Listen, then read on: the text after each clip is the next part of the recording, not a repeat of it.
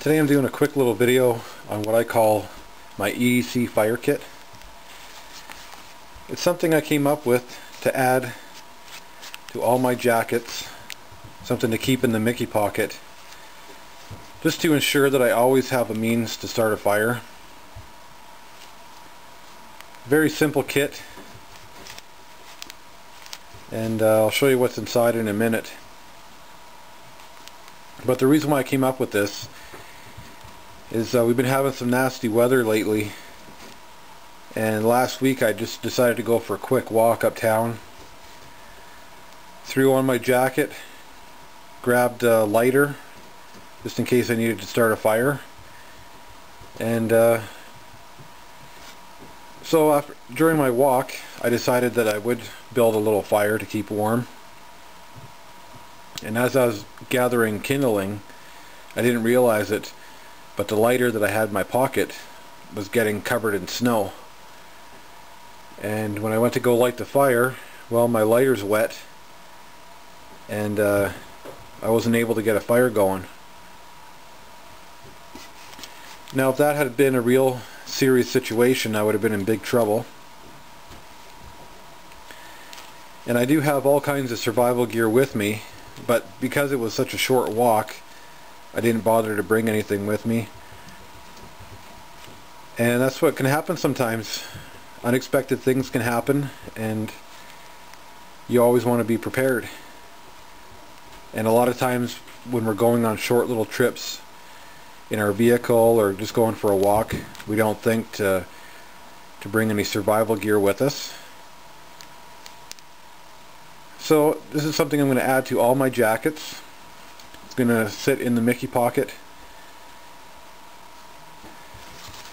in case I ever need it. And what this is, this container, is just a Ziploc bag that I trimmed because I wanted to, the Ziploc seal to make it as waterproof as possible. So all I did was cut a Ziploc bag and covered it in one or two layers of duct tape. And you can do this with anything. Anything you have in a Ziploc bag that you want to, you know, this material is fairly thin. If you want to beef it up and make it stronger, just wrap it in duct tape. Two, three, four layers. And that's exactly what I did. I still got the seal. I'm going to make up a whole bunch of these. Because sometimes a lighter just isn't enough. You have wet, snowy conditions. And sometimes it's real tough to get a fire started with just a lighter. So, this thing I found at the gas station these little mini Vaseline containers. Very small. $1.15. It's uh, wrapped in plastic. I'm just going to leave it that way.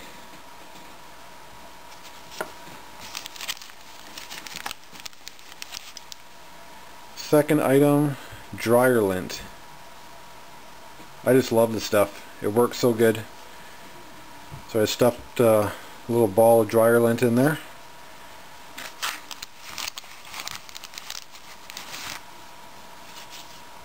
Just a regular Bic lighter.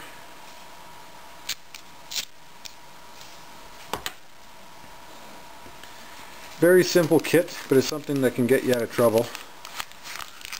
And just because I could fit it in there, so I put one hand warmer in there. You can use this to keep your hands warm or any other part of your body warm. Or if your lighter gets too cold, you can use this to, to warm up your lighter.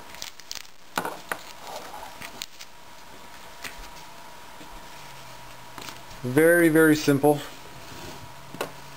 You can add some paper in there or some napkins, uh, wax.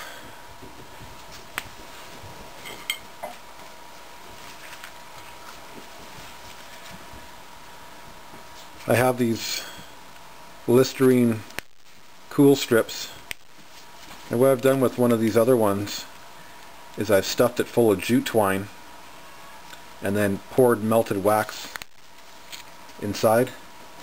It's a great small little container. So you can use wax, Vaseline, chapstick, anything like that works great.